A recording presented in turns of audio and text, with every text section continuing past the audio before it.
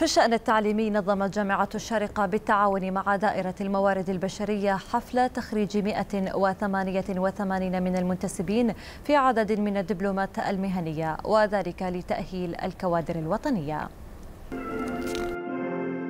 في حفل أقامته دائرة الموارد البشرية بالشارقة. بالتعاون مع جامعة الشارقة احتفل مركز التعليم المستمر والتطوير المهني بتخريج عدد من الدبلومات المهنية التي تستهدف موظفي حكومة الشارقة والباحثين عن عمل.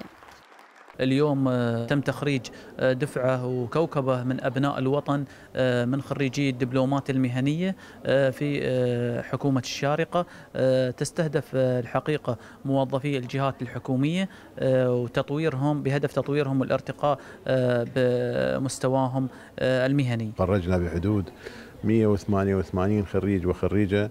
هذه تمثل عشر دبلومات مهنية للموظفي حكومة الشارقة والباحثين عن العمل. طبعا الباحثين عن العمل يشملون اللي هم خريجين الثانوية وخريجين البكالوريوس الذين يتم تأهيلهم لممارسة أعمالهم في في جوانب كثيرة من من المجتمع حيث يتطلب أنه إيجاد عن فرص عمل لهم في دوار حكومية ولكن أيضا في القطاع الخاص ممكن أن يشتركون في هذه التخصصات.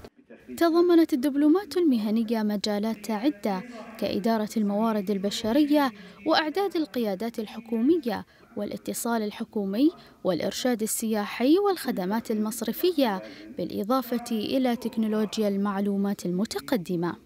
دبلوم ضريبة القيمة المضافة مهمة بالنسبة لنا. نحن قسم حماية المستهلك خاصة أول ما طرحت ضريبة القيمة المضافة في الدولة. صارت هناك إشكالات بين المستهلكين والتجار والناس مو بفاهمة يعني شو معنى ضريبة القيمة المضافة. ونحن أيضا كانت عندنا المعلومات بسيطة قبل الدورة هذه. والدورة الحمد لله أضافت لنا الكثير والحمد لله صارت لنا في تطبيق عملي بالنسبة لها يعني. انتسبت لدبلوم الوسائل الاتصال الاجتماعي هذا ضاف لي معرفة زيادة عن طريق التواصل الاجتماعي وكيف أقدر أسوق حق مؤسستي. دبلومات مهنية عدة جميعها تهدف إلى تأهيل وتدريب الكوادر الوطنية لتكون قادرة على مواكبة العصر بمتطلباته التقنية والثقافية وأداء مهام العمل بجودة وكفاءة عالية. استجابة لمتطلبات العمل الحكومي ها هي دائرة الموارد البشرية تخرج كوكبة جديدة من منتسبي الدبلومات المهنية لأخبار الدار هويدا الشرقي الشارقة.